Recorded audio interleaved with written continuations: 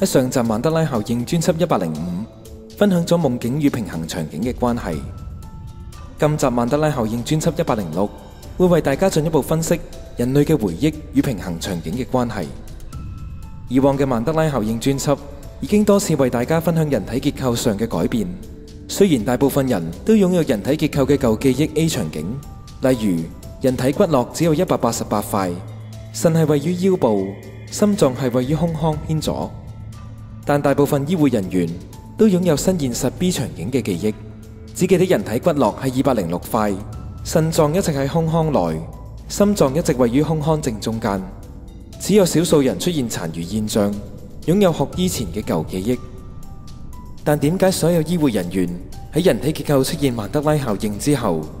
都立刻拥有新人体结构嘅新现实记忆，甚至立刻将旧记忆忘记得一干二净呢？可能你上星期问佢哋，佢哋嘅回答仲系 A 场景旧记忆，但曼德拉效应发生之后，短短一个星期，佢哋就只拥有 B 场景新现实记忆。点解记忆会立刻被改变呢？要明白呢种现象，我哋要先理解何谓回忆。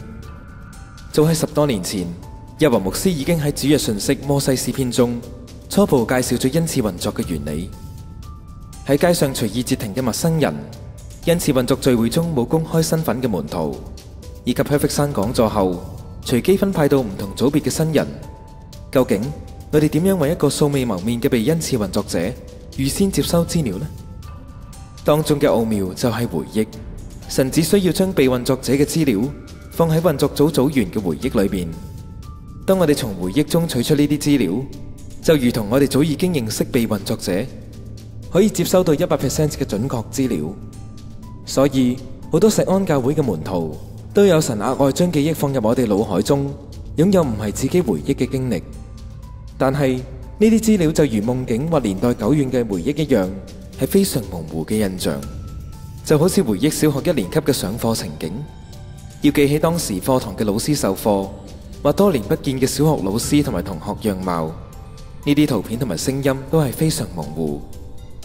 你只能够回想最鲜明嘅片段。例如，某次课堂被老师公开表扬或者责骂，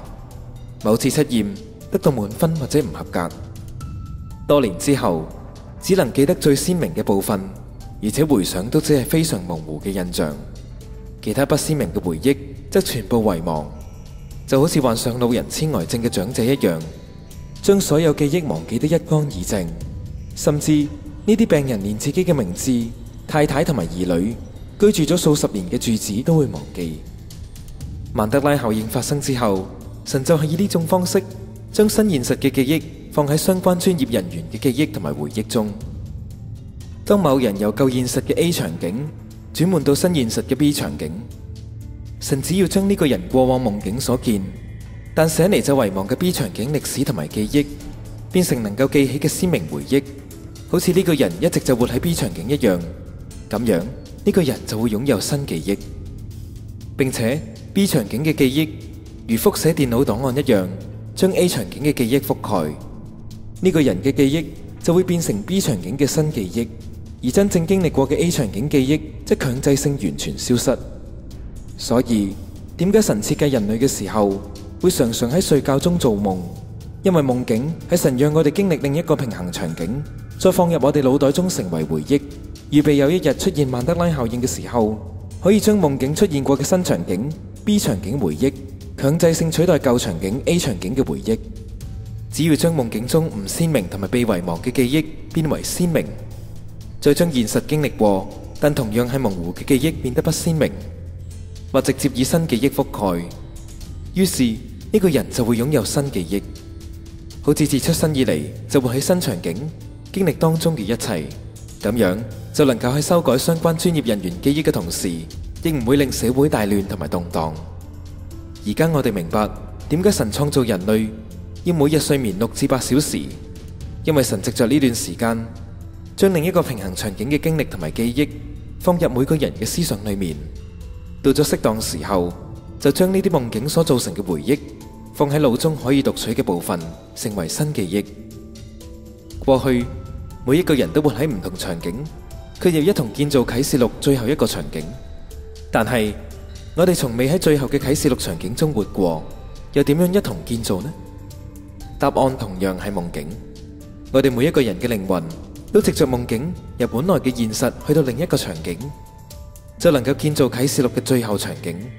预备今日同全世界一同转换到呢个场景，并且一般人梦境所经历嘅时间，比清醒时所经历嘅时间快得多。梦境中嘅一日，可能只系现实世界嘅一小时，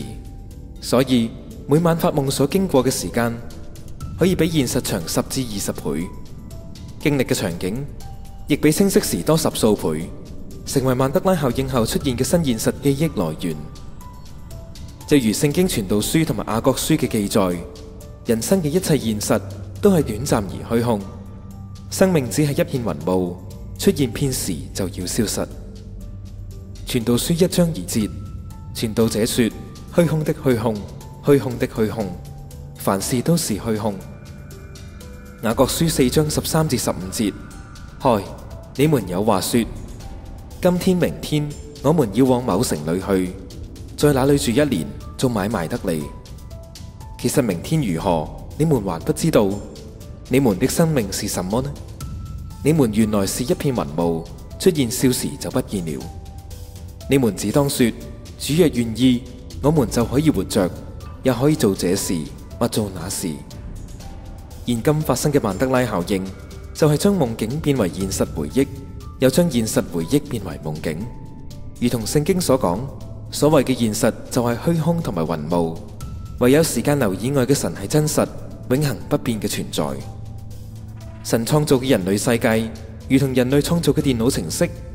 可以随意修改任何设计、现实、回忆同埋梦境。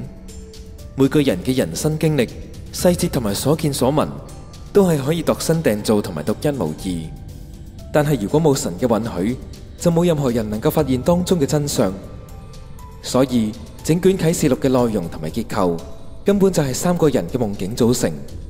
第一个系约瑟少年嘅时候，日、月同埋十一火星向自己下拜嘅梦。